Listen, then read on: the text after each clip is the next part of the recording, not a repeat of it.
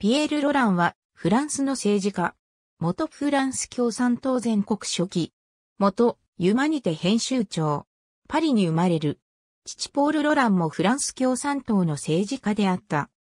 学生として経済学を学んでいる時にフランスの共産主義学生連合に入会する。1982年から1985年にかけて全国委員を務めた。卒業の後、ジャーナリストとなり、ユマニテ市場で活躍する。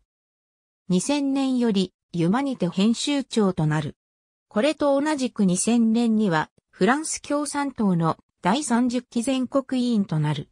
2009年には党ナンバー2の役職である全国コーディネーターに就任する。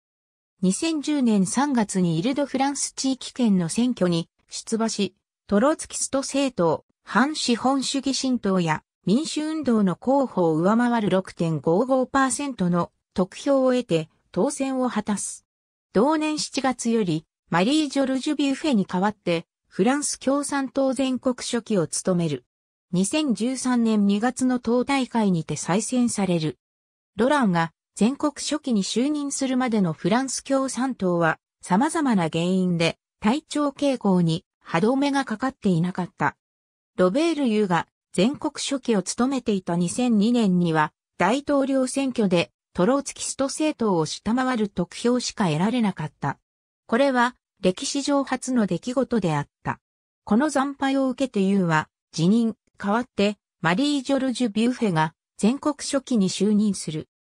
ビュフェは共産党初の女性党首としてフランス共産党のイメージ向上のために様々なことを行ったが、それでも他の左翼勢力との共闘などをめぐって、党内ではごたごたが続き、統制衰退にも歯止めがかからず、2007年の大統領選挙での得票率は過去最低となった。さらに、トローツキスト候補であるオリビエ・ブザンスノーに大きく水を開けられた。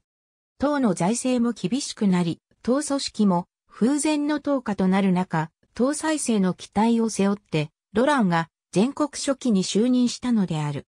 ロランが全国初期に就任して以降、共産党は徐々に息を吹き返しており、共産党と政党連合、左翼戦線を組んだ左翼党の候補であるジャン・リュック・メランションの2012年の大統領選挙での得票は1981年の大統領選挙以来の10%を超えた。2015年8月に日本を訪問、日本共産党の委員長である C 和夫と党首会談を行い、軍事同盟反対や核兵器廃絶など共通する国際課題で両党が協力することを確認した。なお、両党党首の本格的な会談は39年ぶりである。ありがとうございます。